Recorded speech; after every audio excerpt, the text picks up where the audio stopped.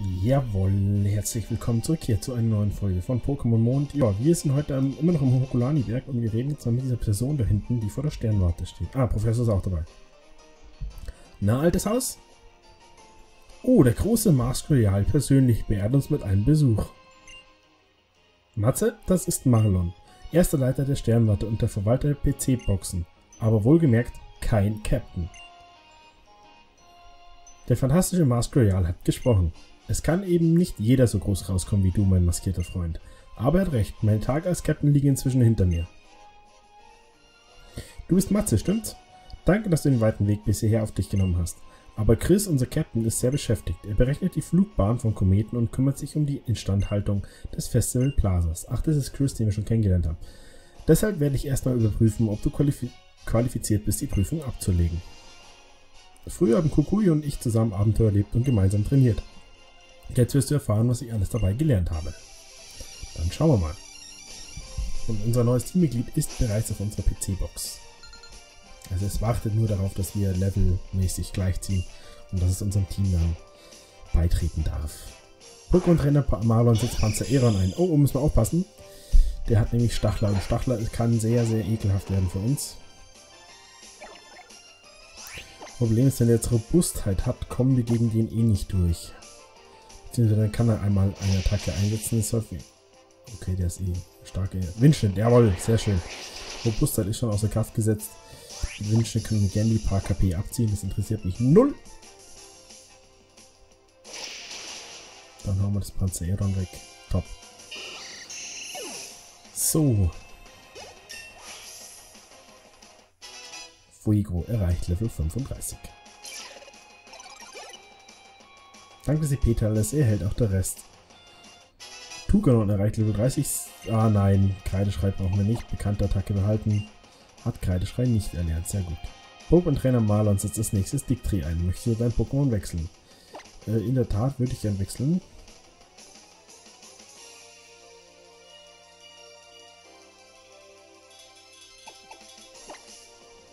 Lassen wir Quachuzo mal wieder kämpfen.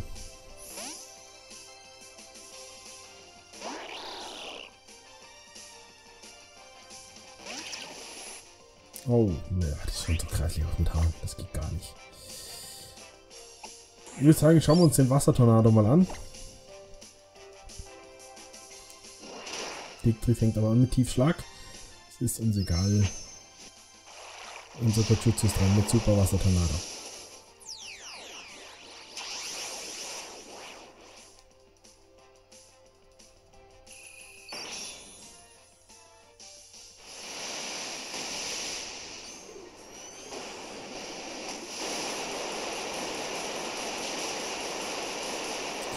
Da geht Dixie flöten. So, Freundschaftsakt wirkt bei Quatutsu.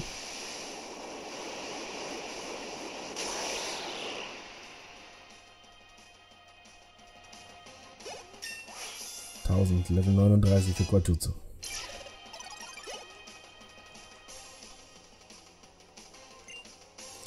Und Metang.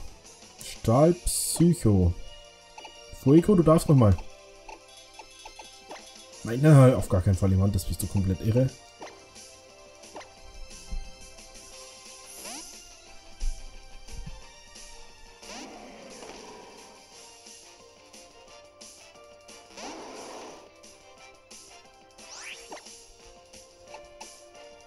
Feuerzahn. Patronenhieb. Wirkt halt nicht viel. Stahl auf Feuer. Wir schmelzen Metang erstmal ein bisschen nochmal Feuerzahn. Und Metang ist geschmolzen. 690 EP-Punkte. Pokémon-Trainer Marlon wurde besiegt. Dieser Kukui mit dir hat eine gute Wahl getroffen. 3000 Pokédollar auf unser Konto, ist zumindest ein Vitalgrad. Wow. Alles klar, du hast die nötigen Qualifikationen, um die Prüfung abzulegen. Hast du das gesehen, Marlon? Ich glaube, er ist sogar stärker, als wir es bei unserer Insel Inselwanderschaft waren. Und noch etwas, warum nennst du mich ständig Mask Royal? Sehe ich diesem extrem erfolgreichen und bildhübschen Profi-Wrestler denn so ähnlich? Aber gut, ich gehe dann mal zurück nach Malia City zum Ziergarten. Tali hat inzwischen sicher genug Malasadas verputzt. Ich werde ihn herbringen. Es ist schön zu sehen, dass sich mein alter Freund kein bisschen verändert hat. Schau dich ruhig in unsere Sternwarte um, Matze. Du bist herzlich willkommen. Ja, aber nach diesem tollen Kampf dürfen wir jetzt erst noch kurz Pokémon heilen gehen. Und dann kämpfe ich gerne gegen dich, mein Freund. Beziehungsweise gegen Chris wahrscheinlich müssen wir kämpfen, nehme ich an. Oder vielleicht fordern wir uns Chris nochmal raus, ansonsten schauen wir uns nur die Sternwarte an, ohne kämpfen. So, unsere 5. Vielen Dank für deine Geduld, deine Pokémon sind wieder topfit. Bitte beehre uns bald wieder. Na klaro.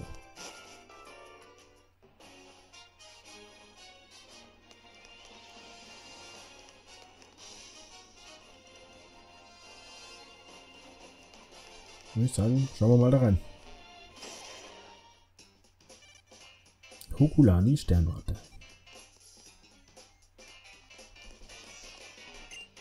Wir nutzen bei, bei der Betrachtung und Erforschung von Himmelskörpern neben der Infrarotstrahlung unter anderem auch Radiowellen.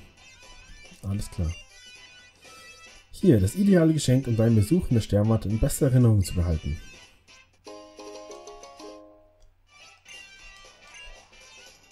Dieses Stück löst sich von einem Kometen, als dieser an unserem Planeten vorbeiflog. Eine bedeutsame Begegnung mit dem Weltall, davon träumt doch jeder Wissenschaftler.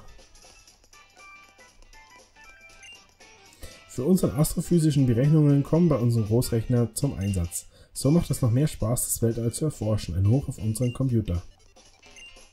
Ein astronomisches Teleskop ist im Grunde nichts anderes als eine Digitalkamera, nur viel größer und besser als das, was man so für den Heimgebrauch hat. Man blickt auch längst nicht mehr durch ein Teleskop wie früher, um den Nachthimmel zu betrachten. Vielmehr macht man Fotos des Weltalls, um es zu erforschen. Alles klar, gut zu wissen. Wenn das so ist. So, müssen wir da reingehen, oder?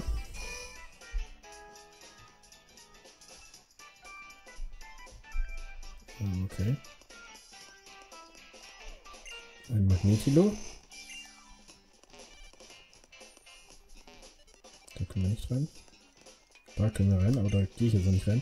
Marlon und Chris sind richtig dicke Freunde. Sie spielen immer zusammen Videospiele bis in die frühen Morgenstunden. Es ist wirklich bewundernswert, dass sie es dann noch schaffen, ihre Arbeit zu erledigen. Die sind wie wir. Wir machen sie das nur. Die sind wie wir. Die können das einfach, die sind cool.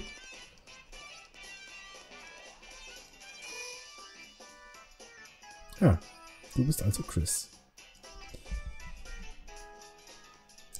Chris an Kontrollzentrale. Ein neues Ziel befindet sich im Anflug. Vermuteter An Auftreffpunkt die Prüfungsstätte. Kontakt in 5, 4, 3, 2, 1. Sag mal, magst du den Festival Plaza?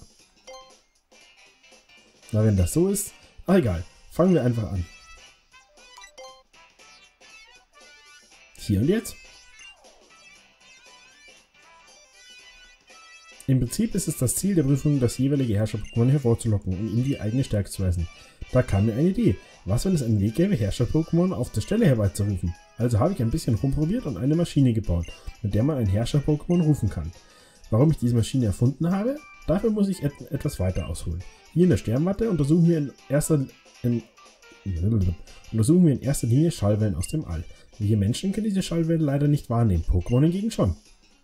Die Schallwellen, die wir hier abfangen, werden schließlich in die weite Welt hinausgeschickt, damit wir überprüfen können, wie die Pokémon auf sie reagieren. Das Equipment, das dabei zum Einsatz kommt, stellt die Grundlage für meine Maschine zum Rufen von Herrscher-Pokémon dar. Die Schallwellen, die wir hier abfangen, haben uns auch bei der Entwicklung des Sicherheitssystems der Sternwarte geholfen.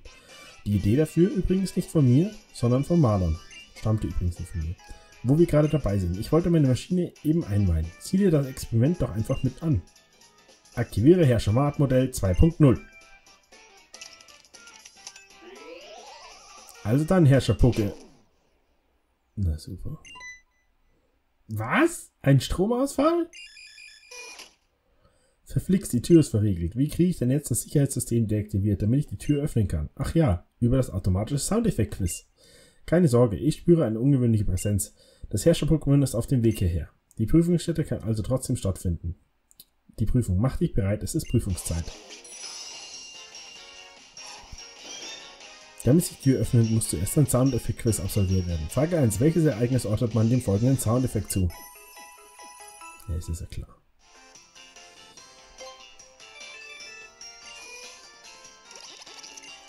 Uh, kaum ist die Tür aufgegangen, ist ein Pokémon ins Zimmer eingedrungen. Das ist dann wohl ein Fall für dich, Matze.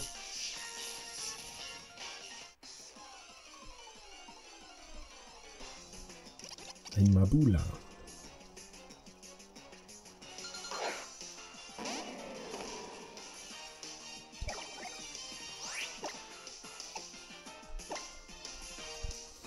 Nicht wundern, ich weiß schon, warum ich Glut einsetze.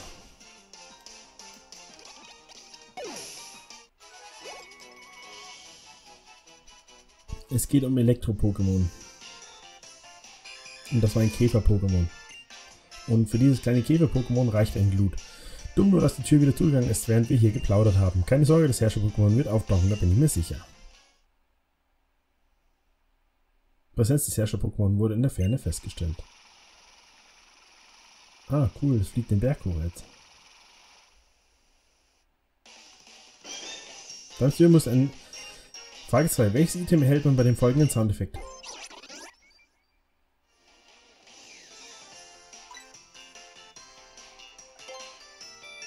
Jawohl. Uh, schon wieder ist ein Pokémon hereingekommen. Es gehört ganz dir, Matze.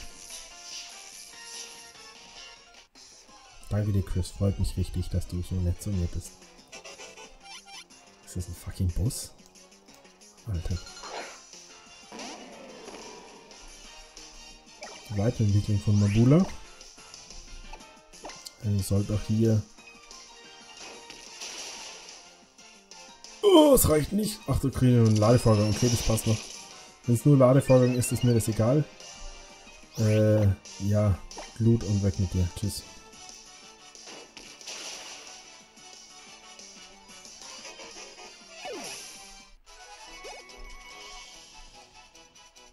Niemand ist erreicht Level 31, na dann.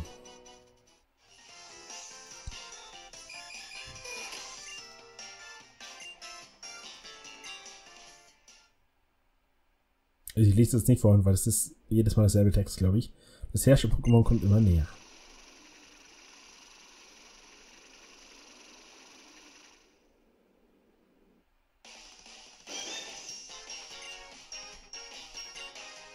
Welches Pokémon hört man bei dem folgenden Soundeffekt rufen?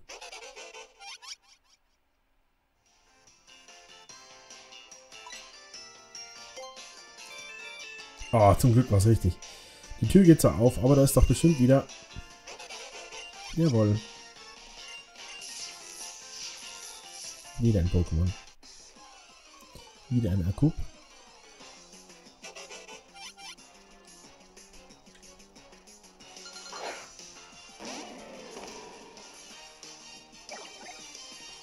Und ich vermute auch diesmal wird uns die Glut nicht reichen. Nein, das ist stärker als das. Der Funkensprung greift sogar an. Scheiße. Och nee.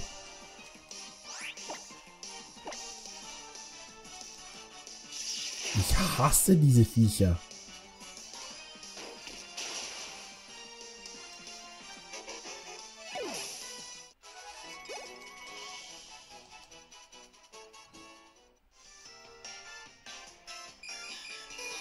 Du hast alles im Griff. Super, Matze.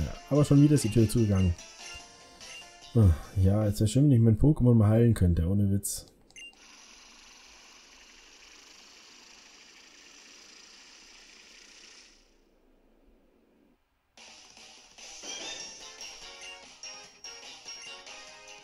Wer oder was erscheint bei dem folgenden Soundeffekt?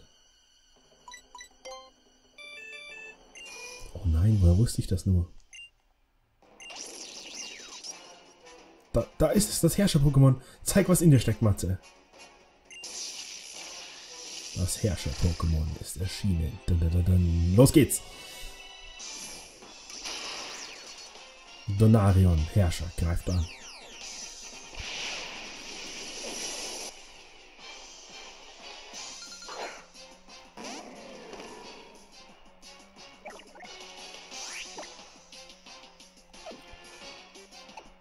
allererstes... Ach, ein Schmarrn. Probieren wir es mit Feuerzahn erstmal. Funkensprung von Donarion. Wir sind natürlich langsamer. Oh oh.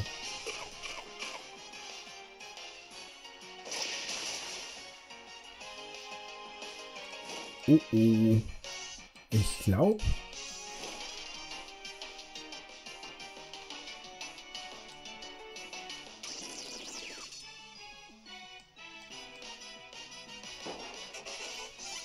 Ein Akub, ja, das Akub interessiert mich aber gar nicht, sorry. Wobei, vielleicht interessiert es mich doch ein bisschen.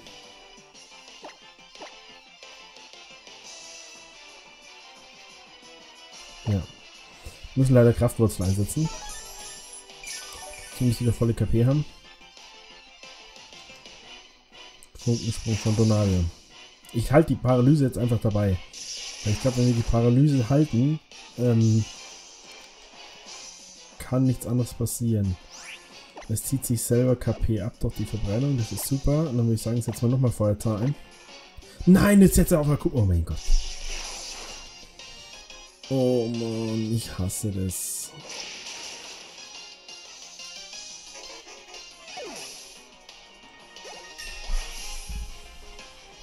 Level up im Kampf, geil. Level 36.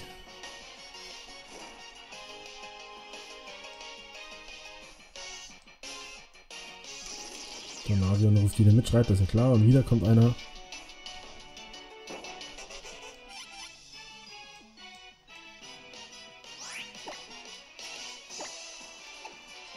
Genau, auf Donavion. Jetzt die wahrscheinlich paralysiert, kann ich angreifen. Käferbiss von Donavion. Wirkt nicht so viel, jawohl, kann ich angreifen, wenn wir paralysiert sind. Senken sie noch unsere Initiative.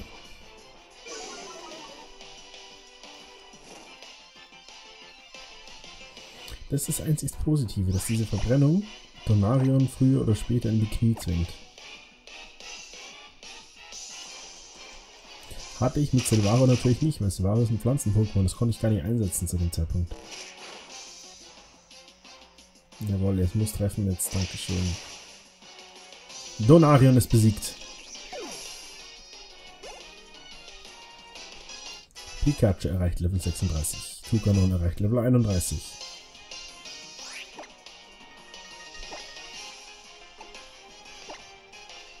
echt lustig, wenn ich jetzt überlege. Wir haben 1 auf 39 mit Konjutsu, 2 auf 36 und 2 auf 31.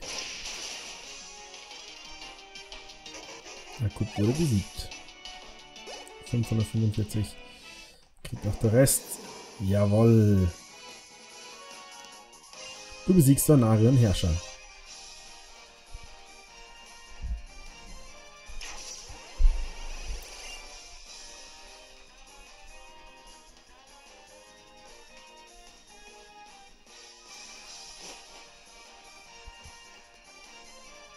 Chris, Marlon, du hast, da hast du als Captain mal wieder eine richtig gute Figur abgegeben.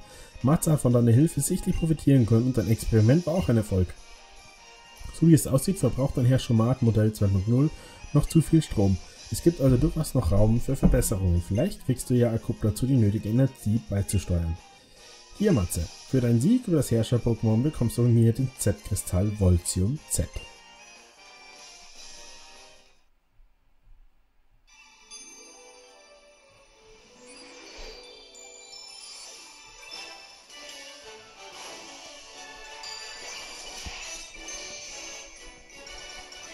Prüfung bestanden.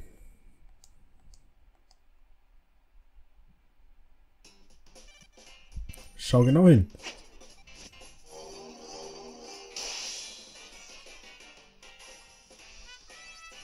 Im Dunkeln habe ich mich irgendwie wohler gefühlt. Wenn du mir jetzt so direkt ins Gesicht schaust, werde ich ganz nervös. Ich weiß gar nicht, was ich sagen soll. Wo ist der Stromausfall, wenn man ihn braucht? Also, äh, danke und herzlichen Glückwunsch. Du hast die Prüfung bestanden.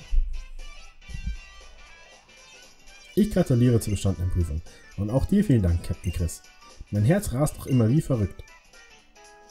Hehe, du bist zwar mein Cousin, aber dich zum Captain zu machen war eine gute Wahl, Chris. Normalerweise werden die Captains ja vom Inselkönig ernannt, aber hier auf Ule Ule laufen die Dinge nun mal ein wenig anders. Genau, ich wurde von Marlon zum Captain ernannt, nicht vom Inselkönig. Aber du hast es wirklich drauf, Matze. Hm, Chris scheint viel von dir zu halten. Gut, dann habe ich auch noch was für dich. Du erhältst ein Z-Kristall Metallium Z. Metallium Z wurde in der Z-Kristalltasche verstaubt. Diese Z-Kristalle habe ich mir zusammen mit einem Pokémon auf meiner Inselwanderschaft erkämpft, um stärker zu werden. Aber die ist er jetzt in besseren Händen. Keine, falschen, keine falsche Bescheidenheit, nimm ihn nur. Ich hätte übrigens noch eine Bitte an dich. Der gute Kukui hat hier nämlich neulich etwas liegen lassen. Oh, alles klar. Du erhältst das Item Maske des Profs. Kukui wollte zum Malie Ziergarten zurück. Entschuldigung für die Umstände, aber könntest du die Maske bitte bei ihm abliefern? Klaro, machen wir doch. Bei unserer nächsten Begegnung müssen wir unbedingt mal gegeneinander kämpfen. Klaro, machen wir. So, ab geht's raus. Aber ich würde sagen, wir laufen den Berg zu Fuß runter. Ich glaube, da warten ein paar Trainer auf uns, wenn ich das richtig gesehen habe. Dann nehmen wir die Trainer mit.